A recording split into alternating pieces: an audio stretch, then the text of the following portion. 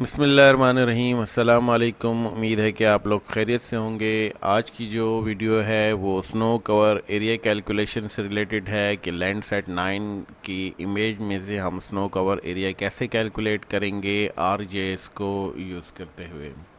सबसे पहले हमें मालूम होना चाहिए कि लैंड सेट बैंड्स के बारे में लैंड सेट नाइन में भी सेम सेम इसकी कॉन्फ़िगरेशन है लैंड सेट एट की तरह, और इसमें जो पहला सेंसर है, वो है ओ एल आई यानी कि ऑपरेशनल लैंड इमेजर इसके अंदर नाइन बैंड्स हैं इंक्लूडिंग पेनक्रोमेटिक बैंड और इसके जो सेकेंड सेंसर है, वो है थर्मल इंफ्रारेड सेंसर यानी कि टी आई आर एस और इसके अंदर भी जो है वो दो बैंड्स हैं ठीक है? तो कुल मिला के ग्यारह बैंड्स हो गए आ, सेम लैंड सेट एट में भी ये इसी तरह जो है ग्यारह बैंड्स हैं और जो सेम टू सेम है। ठीक है बात की जाए नॉर्मलाइज डिफरेंस स्नो इंडेक्स के बारे में बहुत ही ईजीएस्ट मेथड है और बहुत पुराना मेथड भी है। और अभी जो है एडवांस मेथड भी आ गए हैं, लेकिन उसमें ज़रूरी नहीं है कि फार्मूला जितना कॉम्प्लिकेटेड हो तो आपके पास एक्यूरेसी भी उतनी अच्छी आए। ठीक है? एनडीएसआई जो है, अभी भी इसका इस्तेमाल जो है वो हो रहा है रिसर्च के अंदर, ठीक है? Basically it is useful for snow cover mapping ठीक है? और जो है, इसमें क्या है कि हम जो है इसकी मदद से जो है वो इसमें हम रिलेटिव मैग्नीट्यूड को जो है वो मेजर करते हैं। यानी कि जो हमारे पास रिफ्लेक्टेंट डिफरेंस आता है ग्रीन बैंड और शॉर्ट वेव के दरमियान ठीक है? इसको हम जो है जिस कैलकुलेट करते हैं जिसकी मदद से हमारे पास रिज़ल्ट में क्या आता है कि हम इस इंडेक्स की मदद से जो है वो स्नो की प्रेजेंस को मालूम करते हैं पिक्सल्स के अंदर कि आया कि इसमें पे आ, स्नो है या नहीं, ठीक है? इसके अलावा इसकी जो रिज़ल्ट है, जो प्रोबेबिलिटी है मतलब हमारे पास जो रिज़ल्टेंट में वैल्यू आएगी, वो उसकी रेंज जो होगी, वो माइनस वन से प्लस वन के दरमियान होगी, ठीक है? तो इसके अलावा क्या है कि अगर एक इक्वेशन की बात की जाए जनरल इक्वेशन जो है, वो है एन डी एस आई की के green band minus short wave divided by green plus short wave. ठीक है, अगर हम इसको जो है वो लैंड सेट नाइन के हिसाब से देखें तो हमारे पास जो है वो ग्रीन जो बैंड है, वो है basically band three band three minus band six यानी कि short wave divided by band three जो कि ग्रीन बैंड है plus band six short wave ठीक है, यानी कि band three minus band six divided by band three plus band six. ठीक है? चले, जो है, अब क्या है कि हम डाटा की तरफ़ चलते हैं। डाटा के लिए क्या करना पड़ेगा? हम अर्थ एक्सप्लोर पे आएँगे।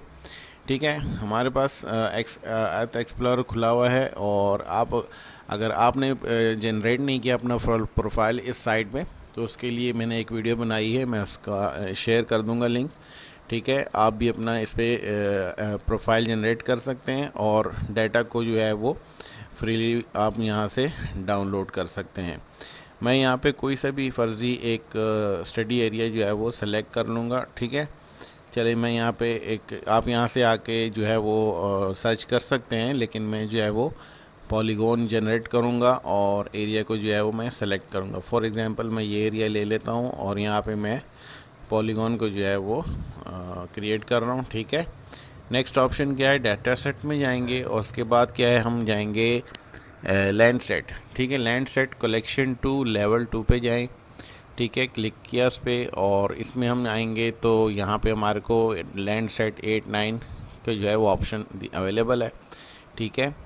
और इसके बाद हमने मज़ीद कुछ इन्फॉर्मेशन नहीं डालनी है। इसमें क्या करना है कि अब हमने डायरेक्ट रिज़ल्ट पे क्लिक करना है। ठीक है?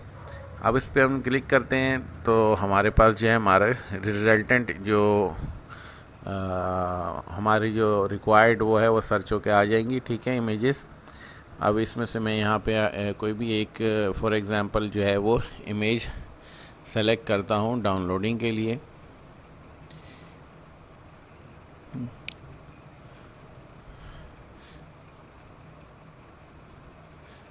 आ, इसमें जो है वो ये वाली इमेज जैसे मैं सेलेक्ट कर लेता हूँ, पहले मैं इसका टाइल चेक कर लूँ, ठीक है? अच्छा अब यहाँ पे देखें, मैं आपको दिखा दूँ कि इस इमेज में ख़ास बात है कि इसमें क्लाउड्स भी नज़र आ रहे हैं, ठीक है?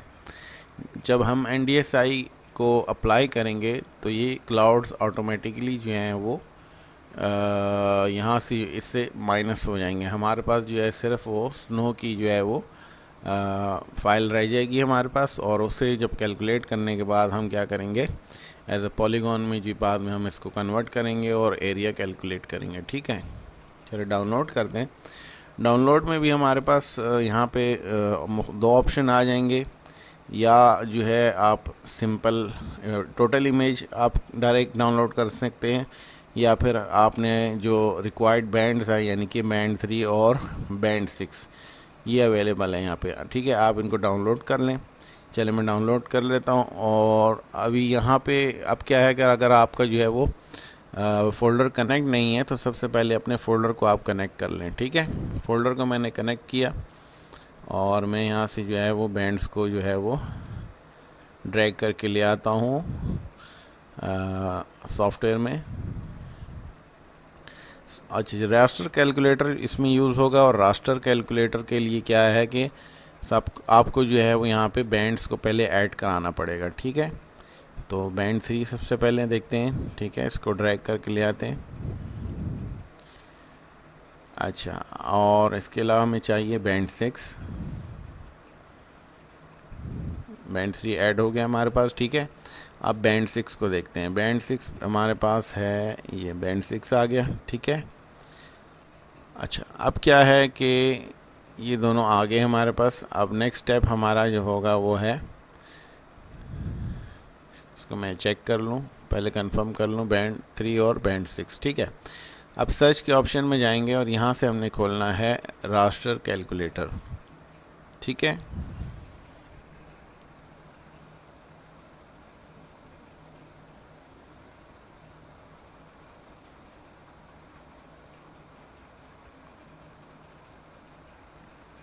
क्लिक किया इस पर ठीक है?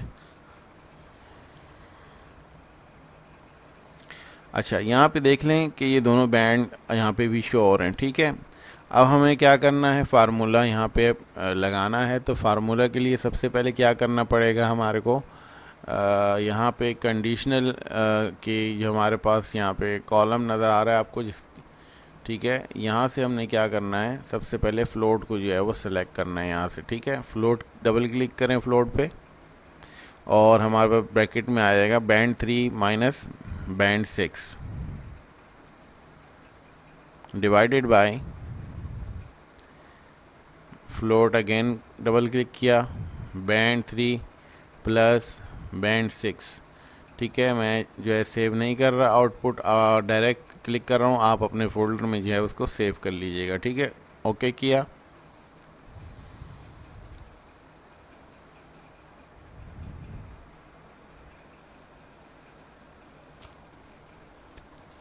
प्रोसेस जो है चल रहा है, ठीक है?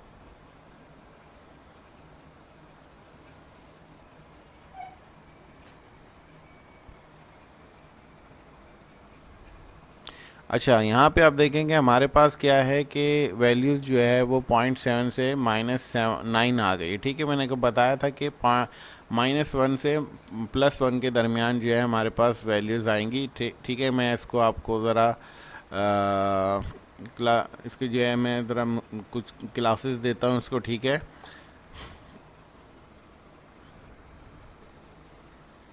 सिम्बोलॉजी में जाके जो है हम इसको चेंज करेंगे। ठीक है? क्लिक किया क्लासिफाइड पे क्लिक करेंगे, ठीक है? और दो क्लासे मैं इसको दे देता हूँ, ठीक है? दो क्लासेस में हमने इसको डिवाइड कर दिया, ठीक है? और ये डिस्प्ले के लिए इसका मैं कलर चेंज कर देता हूँ, ठीक है? ऐसे जो है हमारे पास जो है वो रास्टर फॉर्म में जो है फ़िलहाल हमारे पास क्या हो गया? स्नो कवर की जो है वो शो ऑफ़ हो गया ठीक है? ये ब्लू जो है ब्लू कलर में हमारे पास ये इस स्टाइल के अंदर या इस सीन के अंदर ये सारी स्नो है ठीक है? अब क्या है कि इस, इसको जो है मैंने एक इमेज जो है वो कंपोजिट करके रखी हुई है या या स्टेक भी कह सकते हैं उसको स्टेक करके रखी है इसको मैं इस पर ओवरले करके आपको दिखा देता हूँ ताकि आपको आइडिया हो जाए। कि काम कैसा हुआ हुआ ठीक है? यानी कि उसके जो एक्सट्रैक्ट किया है स्नो को, वो ठीक है कि नहीं, ठीक है? इसको मैं ओके किया। इफ़ेक्ट का टूल खोलेंगे हम, ठीक है? और उसके थ्रू जो है हम वो इसको चेक करेंगे।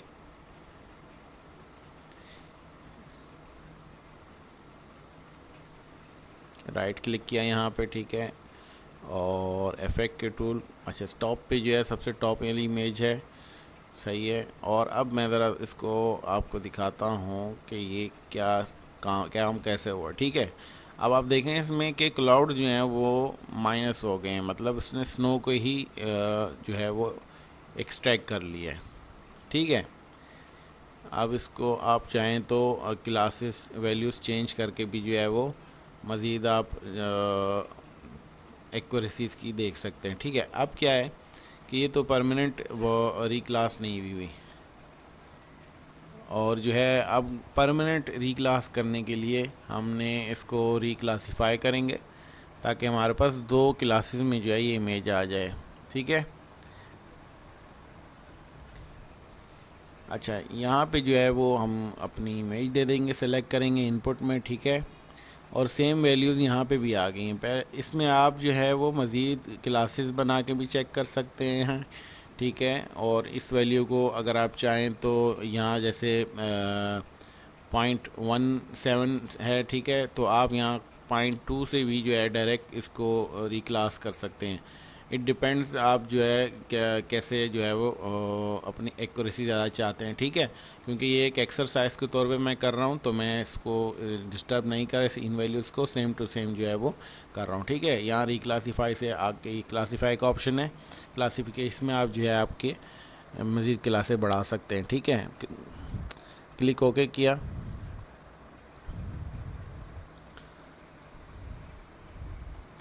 अच्छा जी, ये हमारे पास ऐसे परमानेंट दो क्लासेस बन के आ गई, ठीक है? अब जो है नेक्स्ट काम क्या करना है कि मैं चाह रहा हूँ कि इसके अंदर से जो है, वो सिर्फ़ स्नो वाली क्लास मेरे पास आ जाए, ठीक है? यानी कि जो उसमें वन और टू दिया है तो टू जो है हमारा टारगेट है, ठीक है? तो अब क्या करना है, मैं चाह रहा हूँ कि इसको भी जो है एज सेपरेट कर लूँ वन वन से, ठीक है? तो उसके लिए क्या करेंगे? उसके लिए हम जाएँगे यहाँ इसको क्लोज़ करते हैं, ठीक है? और सर्च में जाएँगे, ठीक है? सर्च में हमने एक्सट्रैक्ट बाय एट्रीब्यूट ठीक है? इसको सर्च करें और इस टूल को हम यूज़ करेंगे ताकि हमारी जो सेकंड जो क्लास है हमारी, इसमें जो यानी कि हमने क्लास टू आई हुई है, उसको सेपरेट करेंगे क्यूरी बिल्डर के ज़रिए। तो हमारे पास एज ए रास्टर फॉर्म में ये आ जाएगी, ठीक है? उसके बाद जो है, हमने इसको जो है वो पॉलीगॉन में कन्वर्ट करना है।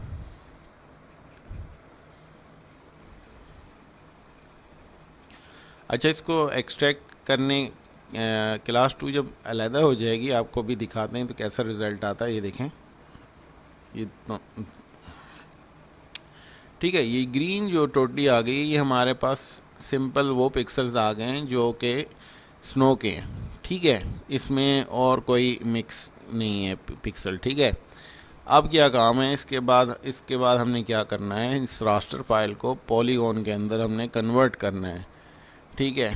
आ, इसके लिए रास्टर टू पॉलीगॉन के ऑप्शन में जाना है और वहाँ से आपने क्या करना है? इसको अपने रिक्वायर्ड जो जो भी हमारा ये टारगेट है ये क्लास इसको हम पुट करेंगे एक्सट्रैक्ट वाली को ठीक है? एक्सट्रैक्ट और इसकी वैल्यू की बेस पे जो है हमने कन्वर्ट करेंगे। ठीक है, मैं अब जो है वो आउटपुट पॉलीगॉन फीचर डेस्टिनेशन नहीं चेंज कर रहा डायरेक्ट सी में ही सेव कर रहा हूँ, ठीक है?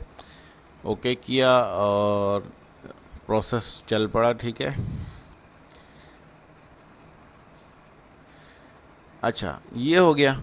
अब हमारे पास आ गई है शेप फ़ाइल यानी कि शेप फ़ाइल में हमारे पास आई है पॉलीगॉन जनरेट हो गए अभी बहुत सारे पॉलीगॉन हैं, ठीक है? बहुत सारे पॉलीगॉन हैं। अब क्या करना है कि हमें जो है वो इन पॉलीगॉन्स को मैं यहाँ मर्ज करना चाह रहा हूँ ताकि ये वन यूनिट हो जाए, ठीक है? और इसके बाद जो मैं इसको एरिया कैलकुलेट करूँगा। एरर आ गया, ठीक है? तो दोबारा देख लेते हैं। राइट क्लिक करेंगे दोबारा इसमें और ओपन एट्रीब्यूट टेबल अच्छा यहाँ पे क्या करना है? Grid code is equal to अब यहाँ पे एक ही वैल्यू है हमारे पास टू ठीक है? अप्लाई किया तो टोटल हमारे पास ये पॉलीगॉन है, वो सेलेक्ट हो गए। अब ये सेलेक्ट हो गए, ठीक है? अब क्या करना है? मर्ज करना है। स्टार्ट एडिटिंग करेंगे तो ही मर्ज का हमारे पास ऑप्शन आ जाएगा। अब स्टार्ट एडिटिंग हो गई, ठीक है? अब मर्ज का ऑप्शन आ गया हमारे पास, ठीक है? अब करेंगे हम मर्ज ताकि टोटल जितने पॉलीगॉन्स हैं, ये सब एक हो जाए।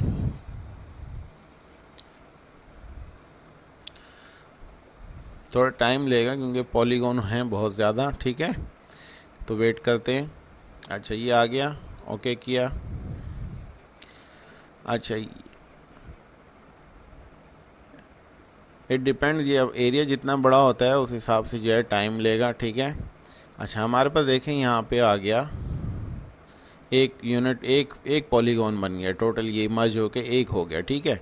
स्टॉप एडिटिंग की यस अब क्या करना है, हमने यहाँ पे फ़ील्ड ऐड करनी है, क्योंकि फ़ील्ड जो है वो स्टॉप एडिटिंग के बाद होगी हमारे पास ऐड अदरवाइज़ ये हमें जो है वो फ़ील्ड ऐड नहीं करने देगा, ठीक है? एट्रीब्यूट टेबल अच्छा दोबारा गया एट्रीब्यूट टेबल खोला, ठीक है? ऐड फ़ील्ड करेंगे. ऐड फ़ील्ड ठीक है? एरिया टाइप कर लेते हैं. अच्छा यहाँ डबल या फ्लोड आपने टाइप में जो है सिलेक्ट करना है। ओके करें। अच्छा ड्रैग किया अगर हम फ़ील्ड देखते हैं एरिया वाली, ठीक है? इस पर राइट क्लिक किया। कैलकुलेट ज्योमेट्री यस अच्छा यहाँ पे मैं स्क्वायर किलोमीटर जो है सिलेक्ट कर रहा हूँ। ओके किया। यस ठीक है हमारे पास जो है वो एरिया कैलकुलेट होके आ गया ये है eight thousand nine hundred ninety one point something square kilometre मतलब ये तकरीबन जो है वो नाइन्टी टू कह लें ठीक है? ए, अब आप चाहें तो इसके दूसरे यूनिट में भी माइल्स में भी चेक कर लें ठीक है? स्क्वायर माइल्स में भी आप चेक कर लें।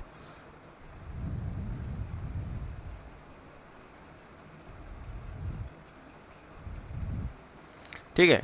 तो इस तरह जो है वो एरिया कैलकुलेट किया जा सकता है एन डी एस आई को यूज़ करते हुए स्नो कवर एरिया हमने जो है वो कैलकुलेट किया है, ठीक है? तो उम्मीद है कि आपको समझ आ गई होगी कि कैसे जो है वो सारा प्रोसेस करना है, ठीक है? और उसके बाद जो हमारे पास एंड में पॉलीगॉन आई है, उसका कैसे एरिया जो है वो कैलकुलेट करना है। चलें इजाज़त दीजिए नेक्स्ट वीडियो के लिए।